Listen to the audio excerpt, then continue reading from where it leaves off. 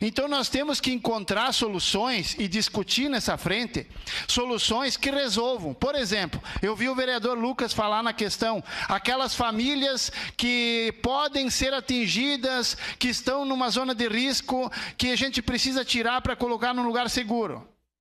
Quanto essas pessoas vão ter que esperar para que o meio ambiente permita que se tire uma mata num lugar seguro para se colocar essas pessoas? Quanto nós vamos esperar?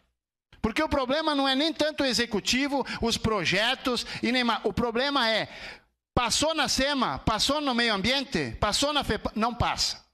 Não, porque lá não pode tocar, porque não sei o quê, porque é isso, porque é aquilo, aquele outro. Porque tem a nascente X, porque tem a mata nativa aquela, não pode mexer. Então eu quero que fique registrado nos anais dessa casa, o que eu vou dizer agora, porque eu vou apresentar, e não me importa os comentários que vai vir depois, tá? Eu vou apresentar um projeto nessa casa para que todas as estradas principais, não qualquer estrada, né? As estradas principais do interior, seja retirada a vegetação 5 metros para cada lado.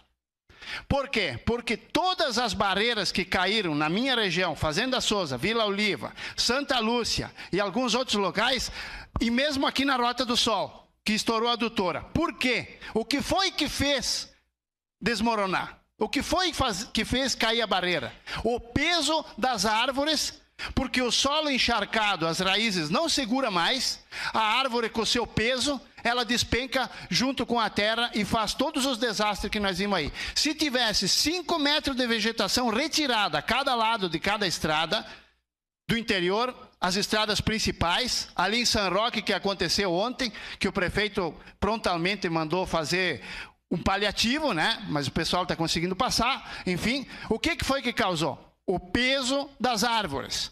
Então, beira de estrada tem que tirar 5 metros para cada lado. Não interessa se é mata nativa, não interessa se é pinheiro, não interessa o que, que é. O que, que vale? A vida humana. A vida humana. Quantos se perderam nessa situação? Então, nós temos que discutir esse tipo de coisa. Soluções concretas. Bate papo, a gente já está cansado de bater papo. Vereador Fantinel, o senhor tira cada ideia.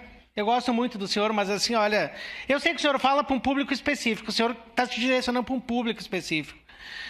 Mas eu tenho minha última formação, que é licenciatura em geografia.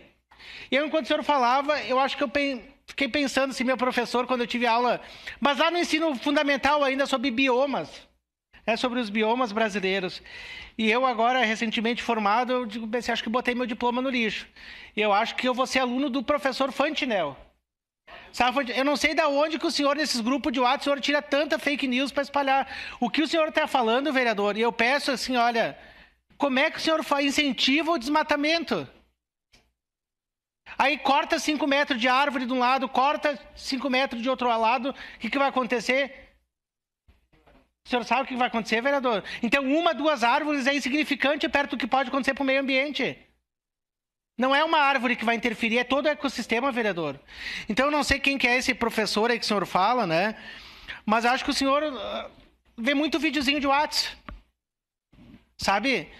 Eu acho que bom que tem a FEPAM, que bom que tem. O, o Henrique, técnico, acabou de fazer uma fala aqui na tribuna. E que bom que tem esses órgãos que fiscalizam, que barram, que são contra desmatamento, que são contra licenciar em áreas de, de, que pode afetar o meio ambiente. Que bom que tem esses órgãos. Deveriam de ser mais, olhar mais ainda. Que se olhassem mais ainda, talvez não teria tanto desastre no nosso estado, no nosso país.